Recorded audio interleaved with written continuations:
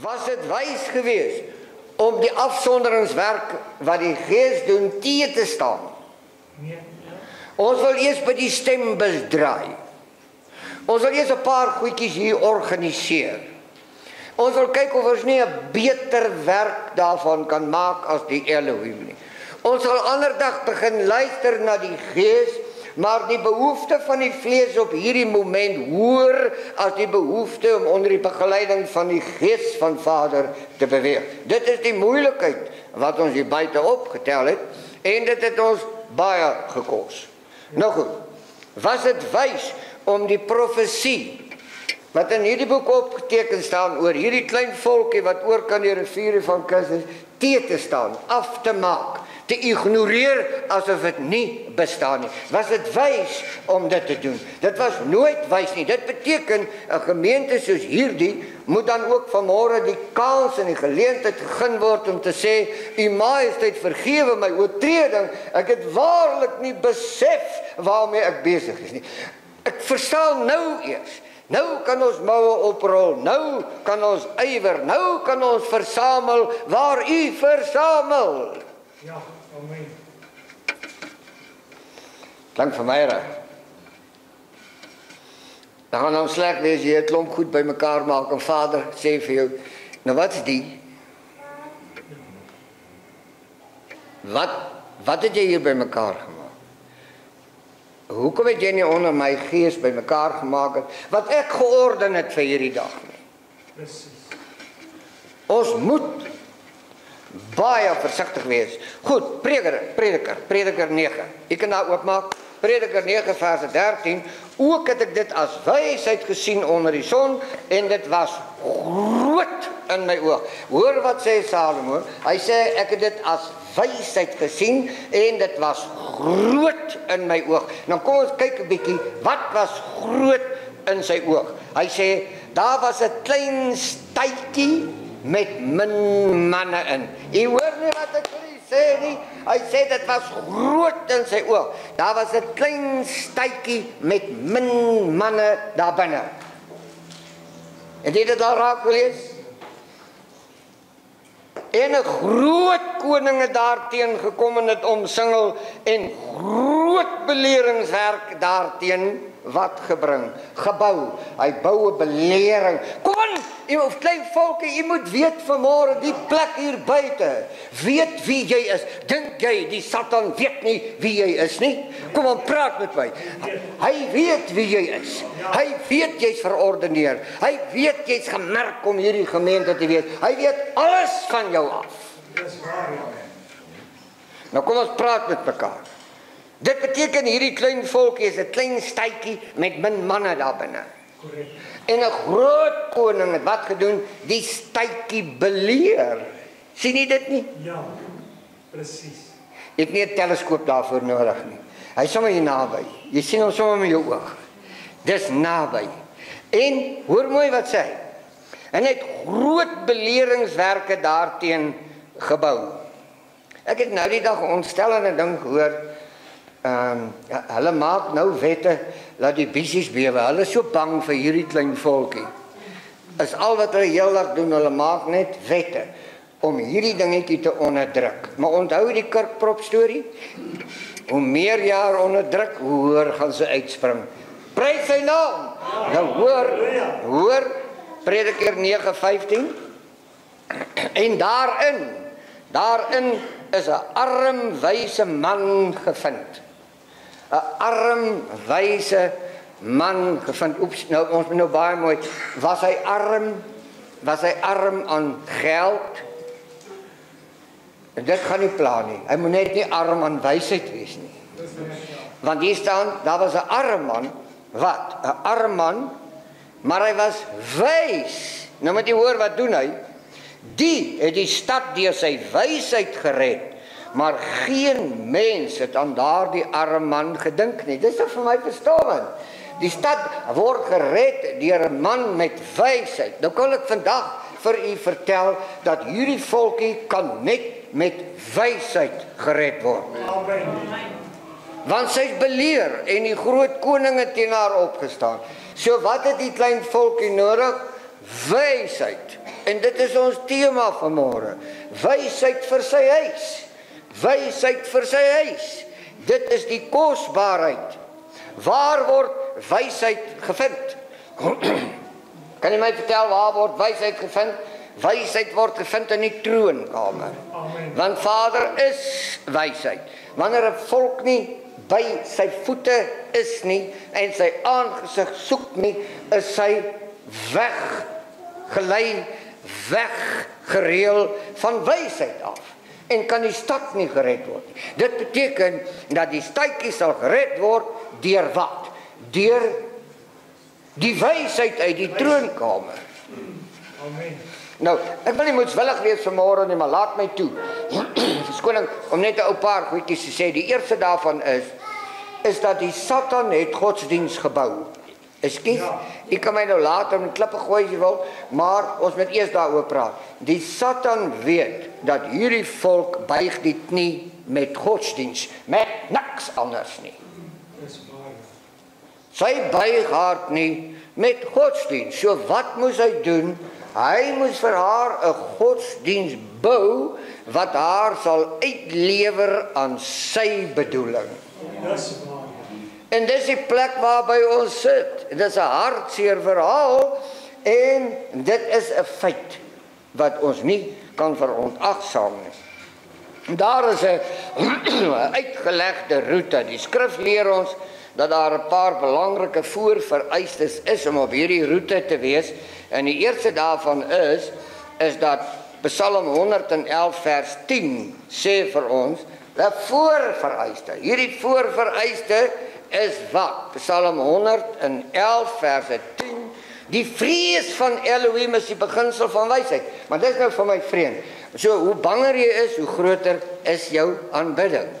Dis nie wat daar geskrywe staan nie. Daar staan hoe groter wat hoe groter jou goddelike verering is hoe groter jou goddelike verering is. Ja. Hoe nader is jy aan Vader. Hy sê dit is die beginsel van wysheid. Almal wat dit beoefen.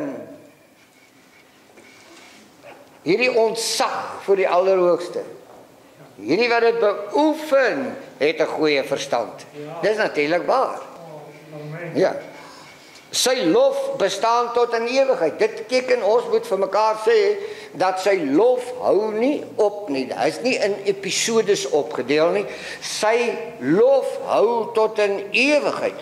En dis onwys om langs die pad van ewigheid nie aan hom lof te bring nie. Jesaja 43:21 sê, "Die volk wat ek vir my geformeer het, hulle sal my lof verkondig." En hierdie lof is veronderstel om tot in ewigheid aan te hou. Amen. Maar as jy nie met hom saamstem nie, is jy teenoor hom en as jy nie saam met hom versamel nie, werk jy teen sy versamelingshand. Wie is jy? Wie dien jy? Waar is jou voet, voetspore gevind? Is jou voetspore by die volksaltaar of lê jou voetspore die vlakte? Waar is ons? Geliefdes, kom ons vat hom net so 'n klein bietjie verder. In Spreuke 9 vers 10 sê hy en die beginsel van wysheid is die vrees van Elohim. Die beginsel van wysheid is goddelike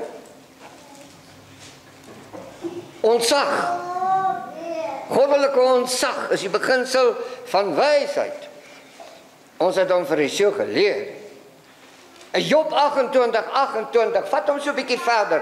Job 28 28. Ek dink as daar een man is vanmôre wat vir ons met groot stem kan uitroep dat hy het by wysheid aangekom, dan was dit Job. Ja. Want in die snik gedeelte van sy boek wat hy geskryf het, sê hy Ek het van hoor sê van u verneem, maar vandag het my oë u aanskou. Dit is die passie waar jy en ek moet kom, my broer en my suster. Ons moet ophou praat met Vaaf oor Vader omdat ons van iemand gehoor het oor hom praat. Ons moet 'n duidelike ondervinding hê deur die krag van sy gees. Ja, amen. Toe. Maar aan die mense het hy gesê, kyk, die vrees van Elohim, die ontzag vir Elohim is wysheid en om van die kwaad af te wyk is verstand. Nou is die parlement so gerook dat hulle die hele plek laat rook met dagga. Almal draai nou solle. Die hele plek rook. Hoekom? Want hulle wyk nie van die kwaad af nie. En as jy nou kyk na die besluite wat hulle nou se daar maak, net 'n gerookte persoon kan sulke besluite maak. Maar laat hulle nou maar lekker rook. Om dit te kan bereik, is daar drie dingetjies wat u en ek moet kan uitoefen, ons moet dit kan leef in ons elke dag lewe. Die eerste is om nederig en leerbaar te bly. Ja, amen. Ons moet nederig en leerbaar bly. Daar's niks op die aarde so gevaarlik as 'n halfgeleerde persoon nie. Of 'n ongeleerde een wat sê hy is geleerd. Ja, Ons moet in nederigheid en in leerbaarheid bly. Ons moet totaal gestroop word van kleinlikheid, geliefdes. Dit is 'n baie hoë premie wat Vader plaas op nederigheid. Want jy kan nie kleinlik wees as jy nederig is nie. Jy kan net kleinlik wees as jy hoogmoedig is. Klein kleinlikheid. Ons moet gestrip word van kleinlikheid. As my boetie 'n Rolls-Royce koop, dan moet ek kan sê Vader, baie dankie dat jy hierdie broer vir my so seën. Baie dankie. Kan jy net asseblief help dat hierdie Rolls-Royce op die pad bly, dat hy mooi netjies is. U seën hierdie ou broer, maar nou is ons nie so kners op my tande en ek sê Wat is dit met die wat se skelm ding is dit nou wat hierdie ou rou ry hier met 'n Rolls verby is 'n skelm varknek hierdie ou uit gesteel. Hoe anders kry hy hierdie ding gekoop? Daar dis kleinlikheid wat so werk. Sien hom. amen. Daar sê. Wantroue in eie gedagtes hê. Jy moet jy moenie jou eie gedagtes kan vertrou nie. Want jou eie gedagtes het vir jou baie moeilikheid in die lewe gebring. En as jy al hierdie eie gedagtes binne in die volk op 'n bondel gooi, dan kan jy verstaan hoekom is die volk in die moeilikheid. Want sy's in in die moeilikheid as gevolg van haar eie gedagtes. Maar ek hoor Jeremia 29:11 sê dit is my gedagtes aangaande julle. Gedagtes van heil en nie van onheil nie. Het jy dit al raak gelees? Nou, hoekom is die onheil hier? Want die onheil is hier deur ons gedagtes, nie deur sy gedagtes nie. U kan nie dit vir my op 'n ander manier kom verduidelik nie. En eers moet die bostaande vernuwing van gemoed kan plaasvind voordat ons aktief kan deelneem aan goddelike wysheid. Wat? Ons moet leerbaar en nederig bly. Ons moet gestroop wees van kleinlikheid. Ons moenie Vader se goed probeer bou met ons gedagtes nie. Sy gedagtes word ingegee deur die krag van sy Gees. Amen. Ons spandeer byna leeftyd binne 'n raamwerk van verwaandheid. Nou ek wil nie daaroor uitwy nie, maar u verstaan as ek vir u sê dat hier buite is 'n raamwerk van verwaandheid opgerig. Ja. Dis waar. Die hele plek, die hele godsdienst spektrum verwerp die instruksies van Vader. Daarom sê ek weer vanmôre, die Bybel moenie oorgeskryf word nie. Hy moet oorgelees word. Hy moet met dit intimiteit gelees word, met 'n begrip gelees word. En dan moet ons verstaan dat ons kan die verborgenheid van die skrifte nie verstaan as die Gees van Vader ons nie begelei binne in die verborgenheid nie. Die skyn van volleerdheid. Die skyn van volleerdheid is verwaandheid. Jy weet ek praat nou seker so 'n bietjie af van môre, maar ek verstom my steeds aan hierdie ding van hoeveel professors, teologiese professors was betrokke in die opmars van hierdie volk. Sjoe. Hoe is dit dan nou moontlik dat hierdie volk in die doodloopstraat geland het met al haar professors en dokters en teologiese meesters? Hoe het sy hier aangekom? Dit is baie maklik om vir u te verduidelik. Die boek is nie liefgehê nie. Die boek, hierdie handleiding, is nie geraadpleeg nie. En dis hoekom. Spreuke 11 verse 2 sê Nou moet jy baie mooi luister wat ons vanmôre vir u sê want ons praat nou oor die einde van die jaar En ons praat oor 'n jaar wat verby is en jy moet dit mooi in perspektief hou. Hoor wat sê Spreker 11 vers 2. Hy sê kom die vermetelheid. Kom die vermetelheid. Dan kom die skande. Kom die vermetelheid. Dan kom die skande. Kom die vermetelheid, dan kom die skande. Jy moet nou sien hoe kom die vermeteldheid op. Uh omsiener was reg. Hulle gaan mekaar vat. En dit is lekker om in die paviljoen te sit. Hulle gaan mekaar vat. Hoekom? Want die vermeteldheid het skande gebring. Maak nie saak wie hy is nie. Die boek is dis 'n universele beginsel. As jy met vermeteldheid omgaan, kom die skande. Daar sê. En die resultaat hierdie hierdie verskrikking kom deur verwaandheid. Hy sê maar by die beskeidenis, by die beskeidenis is wysheid. Dis hierdie seuns en hierdie dogters wat skaamteloos met 'n oop borskas sê die Elohim. Die Elohim. Ons Vader wat in die hemel is, aan U behoort die krag en die majesteit en die heerlikheid tot in ewigheid. Dis hierdie beskeidenheid wat die plek maak skud geliefdes. Amen. Hier kom hy. Ons moet leer om wysheid net van Elohim te ontvang. Luister mooi. Uh, ons klop baie aan vir wysheid. Ons klop baie aan vir wysheid. En ons moet toets of die wysheid wat ons ontvang deur Vader se Gees vir ons gegee word of dat dit deur misleiding aan ons oorgedra word. Ons moet baie versigtig hier wees. Wysheid word goddelik in die uitverkorenes gevestig wanneer hulle hulle self verbind tot sy majesteit se gebooie en sy raadsbesluite. Geliefdes, u weet, dit is 'n verskriklike toestand om te dink dat 'n volk wil 'n volk bly, maar sy raadpleeg nie Vader se raadsbesluite nie. Sy raadpleeg nie sy gebooie nie. Sy raad sy raadpleeg nie sy profesie oor haar nie. Sy skep vir 'n nuwe politieke party.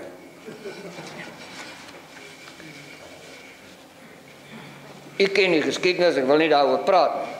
Psalm 119 verse 98 vat ons 'n tree nader aan hierdie wonder. Woe, gou van hierdie U gebooie, u gebooie maak my wyser as my vyande. Halleluja. U hoor net ek vanmôre vir u sê u gebooie maak my wyser as my vyande. Ja. Amen. Is nou rarig vir my nou 'n aardigheid. Dit lyk vir my hele tender nou om afbop se besigheid uit hulle hande uit te vat. Ons moet lewe hierso. Sê bietjie vir my, hoe voel jy hieroor? Die Elohim se gebooie maak ons wyser as ons vyande. Halleluja. Dankie. Praat tog ou bietjie saam dat die lewe in hierdie plek kan kom. Wat sê die 100ste versie? Kom ons lees hom met mekaar saam. Die 100ste versie. Ek het meer verstand as die ou mense want ek bewaar u bevele. Halleluja. Is dit nie lekker? O. Maar ek hou daarvan. Ek bewaar u bevele. Is baie lekkerder. Jy weet een van die dae is dit Kersfees, nê? Nee. Vir ons. En uh ek moet so 'n ou verhaaltjie vertel uit my eie lewe uit. Uh, ek het ek het nie getwyfel oor Kersvader nie. Daardie tyd. Maar ek het 'n logistiese probleem gehad. ek wil net weet as hy so baie persente oor die planeet moet uitdeel, hoe kry hy dit in een nag gedoen? Ek het 'n bietjie probleme daarmee op. Ja. En toe het ek gewonder hoe gaan hy my reisies fiets deur die koorsteen kry? Want hy kom deur die skoorsteen. En toe kruip ek agter die bank weg. Dit was 'n vreeslike vermoeienis. Nou loer ek hier oor die bank daar na die kaggel toe want ek wil nou uitvind. Ek wil net sien hoe kry hy die reising fiets hierdie reisies fiets daar deur hierdie skoorsteen.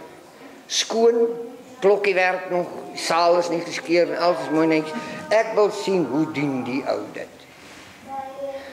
Wat was my verbasing groot dat pa kom nou met die reisies fiets nou hier oor sy skouer hier ingestap en hy plak hom daar by die kaggel neer. Maar hy het nie geweet ek is daar nie. Ek sê vir hom pa, maar hy spring net so. hoor. Hy sê wat maak jy? Ek sê nee, ek wil kyk hoe kry kry Christus Vader hierdie fiets hier deur die skoorsteen. Wat maak pa met die fiets? Nee, vertel my 'n storie. Hy kon nie die bokke party bymekaar kry nie en toe het hy my gevra om die fiets so lank hier te kom neersit. Dit sulke goed. Maar vandag is ons vry. Vandag weet ons. Dis 'n volhard storie. Vandag weet ons dat sy majesteit het nooit sulke goed vir ons gegee om te hê nie. Hy het gesê ek is die alfa en die omega. Ek is die begin en die einde. Ek is die salwing, ek is die heerlikheid, ek is die majesteit, ek is die volheid. Ja, halleluja. Ons het niks verder nodig nie. Niks, niks, niks, niks nie. Nou goed. En ons verstaan natuurlik dat Kolossense 3 vers 16 het 'n ding wat hy sê wat ons vandag mooi moet opneem. Ons moet hom drink, ons moet hom eet, ons moet hom praat en ons moet 'n getuienis daaroor lewer. Hoor hoe mooi sê hy: "Laat die woord van Messia ryklik in julle woon in alle wysheid." Daar sê, daar sê, hoor mooi. Laat die woord van Messia wat ryklik in julle woon in alle wysheid. Met ander woorde, sy woord word nie in onnoosheid gevind nie. Lekker om dit te weet. Hoor, hoor. Ja, hy word nie daar gevind nie. En vermaan mekaar met 'n psalm. Soos 'n ou vir jou lekker woedend is. Dan loop jy nou om te sê, "Skus, ek weet jy's nou kwaad en als, maar ek wil net vir jou ou liedjie sing." Ek is bly ek behoort aan Yeshua. En jy? Dis dit. Jy sien, ons moet dit reg hanteer, ons moet met 'n passie hanteer, ons moet ons moet 'n deernis hê. Nou hoor hierdie een, hè? Met geestelike liedere. Ag, ek wil nou nie trane bring vanmôre nie, maar ek verlang baie dae so terug na ou Boetie. Hy nou lekker by die huis en ons moet nou hierdie kant sukkel, maar daar by Maggie hulle by die huis kom. Vroeg Sondagmôre. Ek staan nou vroeg op, maar ek roer nou nie, ek is bang om die ou mense te steur, jy weet en so aan. Maar dan sy daar in die ou kombuisie. En dan sy nou haar haar CD'tjie daar ingesit. En uh sy het nou la, jare terug vir Jimmy Swaggart afgesweer, maar sy het ander ouens wat sy mee saam sing. Dan sy daar in die kombuisie. En sy's nie skaam vir die evangelie en sy's nie skaam vir haar blydskap nie. Sy's nie skaam oor dit wat na binnekant brand nie. En dan sing sy saam met die ou draadlosie daar binne in die kombuis. En dan dink ek vanmôre aan myself. Hoeveel oggende begin u en ek ons lewe sonder 'n psalm tot eer van sy naam? Ja. Hoe dikwels begin ons die ding doen sonder dat ons 'n loflied tot eer van sy naam sing? Wat 'n getuienis is dit? Maar intussen het haar ou draadlosie opgepak. Hoe maak jy nou my ou sis? Sing nie nog. Sy sê nee, sy het nog iemand gekry om die draadloos reg te maak nie. Maar sy sing daarom sonder die draadloos. Prys sy dierbare naam. Nou, hoor bietjie wat sê 1 Timoteus 3 vers 16. En ek wil graag klaar maak, maar ek het nog net so ietsie wat ek graag met u wil deel. Hoor wat sê dit is vir my so belangrik om dit met u te deel. U sien geliefdes, die boek sê 2 Timoteus 3:16, die hele skrif is deur Elohim ingegee. Wie stem saam? Die hele skrif is deur Elohim ingegee. En dan gaan hy verder en is nuttig tot lering, tot weerlegging, tot regwysing, tot onderwysing in geregtigheid. Met ander woorde, die boek begelei ons om alles aan te spreek met geregtigheid. Ja. Jy kan nie die boek hanteer met ongeregtigheid nie. Dan sien we die Satan besig. 2 Timoteus 3:17 En waarom moet dit so wees? Hier staan die antwoord sodat die mens in Elohim volkome kan wees.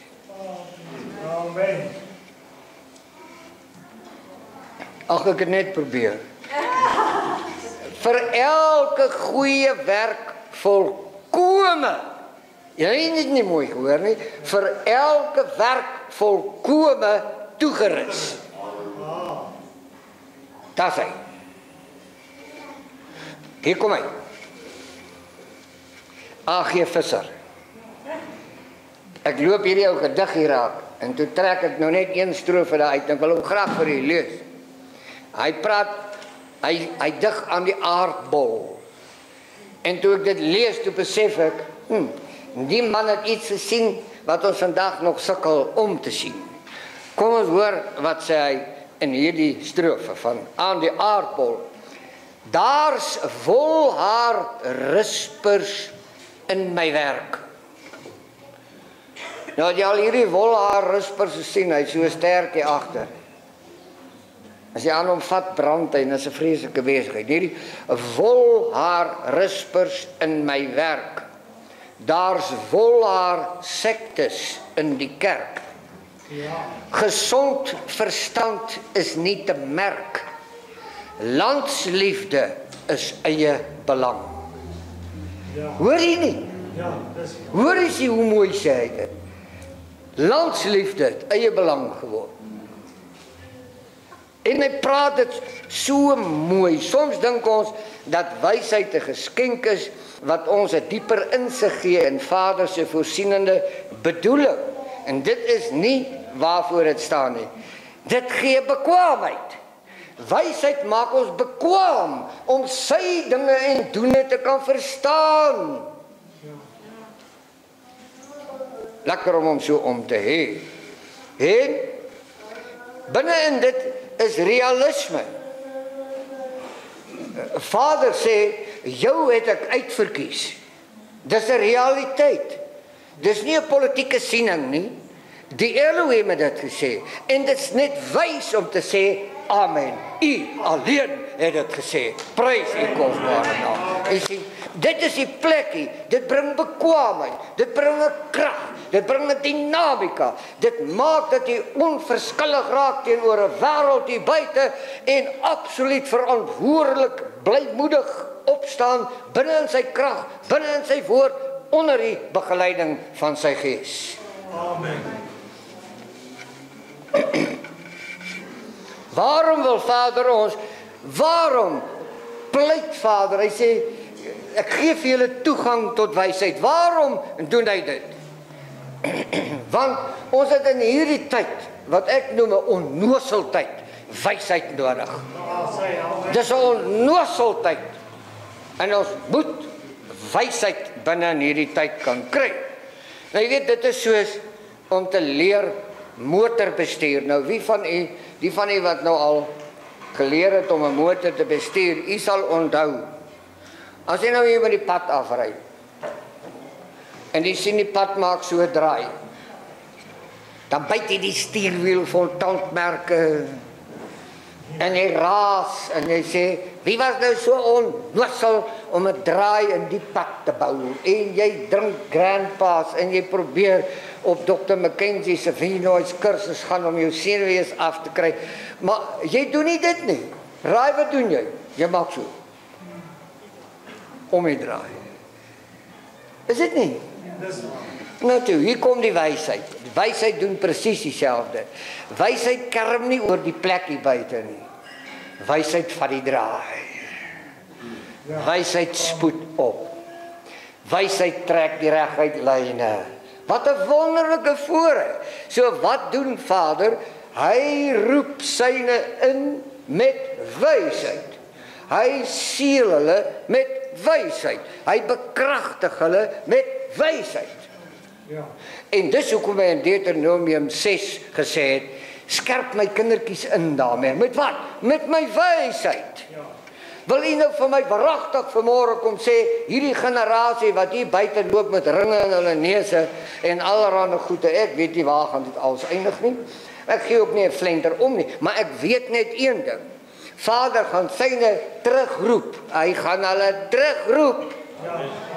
Met wat? Met wysheid. En as hierdie kinders in wysheid groot geword het, het hulle die plek geskit, geliefdes. Nou sê hulle ons het nie 'n toekoms in hierdie land nie. Daar's twee belangrike dinge wanneer 'n mens bestuur. Die eerste is spoed en reaksies. Spoed en reaksies.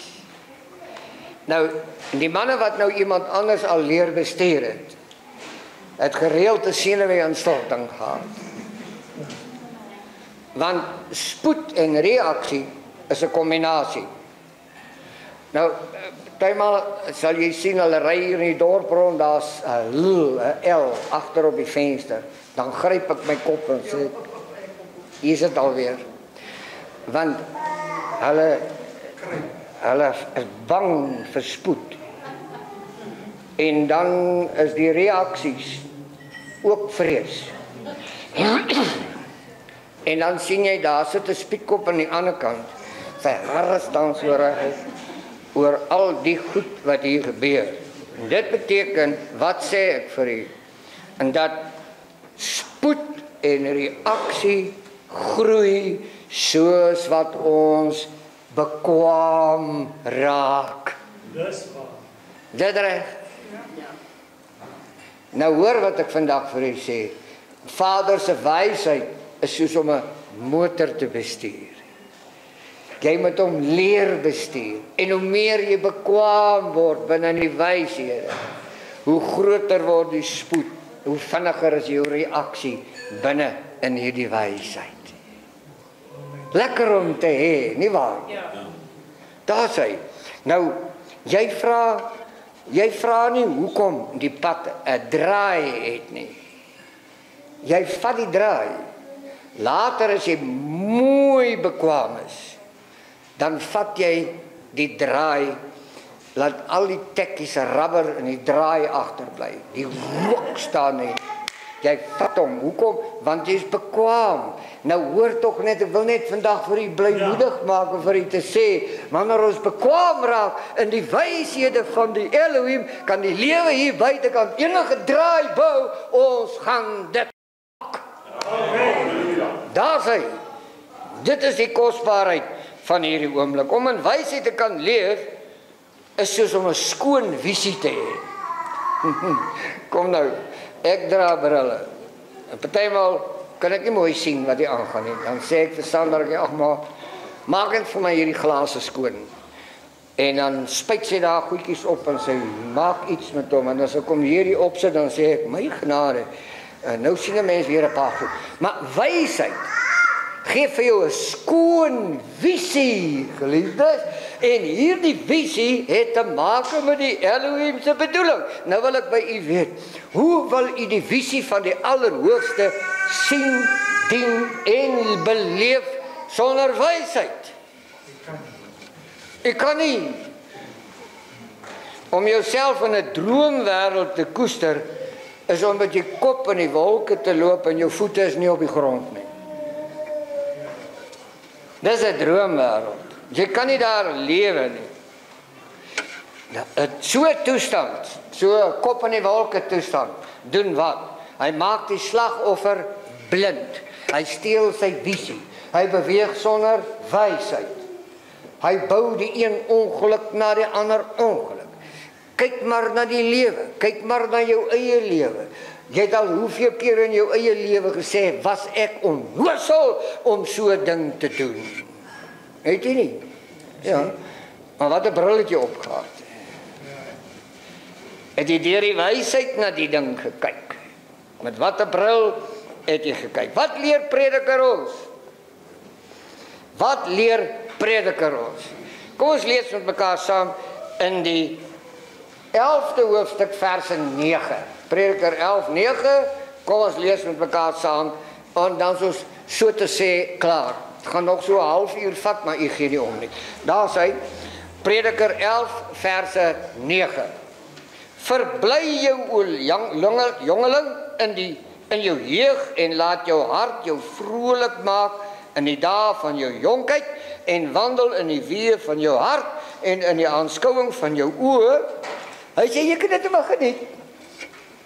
Jy kan weer op en af spring en jy kan jou dingetjies doen. Flenter jeans dra en allerlei goed doen. Jy geniet dit maar. Maar hy sê hy sê maar weet dat Elohim jou oor al hierdie dinge in die gerig sal bring. As jy geniet dit skop agterop en min ag jou ouers, gaan maar, gaan maar, gaan maar maar weet die Elohim gaan 'n streep voor jou voete trek. Nee, dan sê geniet my jou jong lewe, maar weet as jy dit nie binne in die raamwerk van sy wysheid doen nie, gaan jy teen die muur eindig. Hy het so gesê. Amen. En dit is die kosbaarheid van hierdie pragtige oomblik. Hy sê in die eerste versie van Prediker 12 En dink aan jou Skepper in die dae van jou jonkheid voordat die ongelukkige dae kom. Nou ek het nou net vir julle gesê, jy kan wel geniet en opskop, jy kan allerlei ou goedjies doen, jou nekkie styf maak en allerlei goedjies sê en spiertjies wys. Jy kan maar hierdie goedjies geniet hier langs die pad, maar die Elohim sê ek gaan 'n gerig oor jou hou oor hierdie dinge wat jy gedoen het. Nou kom die 12de hoofstuk in vers 1. Hy sê dink aan jou dink aan jou Skepper. Dink aan jou Skepper in die dae van jou jonkheid. Dink aan jou Skepper in die dae van jou jonkheid voordat die ongelukkige dae kom. Met ander woorde, as jy sonder wysheid in die jeug en in die jonkheid beweeg, dan kom daar ongelukkige dae. Is dit nie waar nie? Sy majesteit het so gesê. Nou waarskynlik voor die tyd. Hy sê Hy sê, hoor hoe mooi sê, dink dink aan jou Skepper in die dae van jou jonkheid voordat die ongelukkige dae kom. Nou kan jy verstaan wat het die wêreld godsdiens gedoen met hierdie plek? Hulle het ons geleer om op te skop en te kere te gaan en nou is ons by ongelukkige dae. Is dit nie? Daarom bondel ons bymekaar en sê en soek die wysheid. Ons soek die wysheid. Ek wil graag hierdie ou dingetjie vir jou lees. Daar was eendag 'n skaapwagter. Hy was vir jare 'n skaapwagter. En op 'n dag toe roep die koning hom in en hy sê vir hom: "Um jy is 'n fantastiese skaapwagter gewees jou hele lewe lank. Ek gee nou vir jou ministerstatus hier binne my kabinet." Trek vir hom ander klere aan. Die ou lyk nou mooi. Hy pas nou nie meer skape op nie, hy sit daar aan die banke. Hy's 'n minister. Maar hy het 'n manier gehad. Eenmal 'n week dan verdwyn hy. Daar na 'n kamer toe in die paleis, dan maak hy die deur toe. En dan die koning later agterdogtig geraak en dan loop hy agter hom aan en uh, dan sien hy hy sluit die deur toe en dan so 'n halfuur later dan kom hy uit en sluit hy weer die deur toe. En uh, dan gaan hy maar weer aan met sy lewe. En die koning was later hysteries want hy weet nie wat gebeur binne in die kamer nie.